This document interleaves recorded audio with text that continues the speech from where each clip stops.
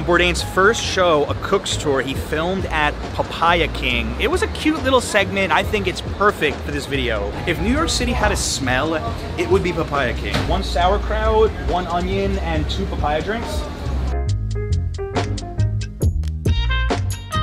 Red onions, mustard.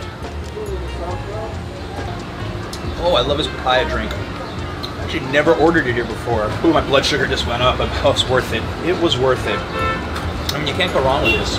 As New York, as it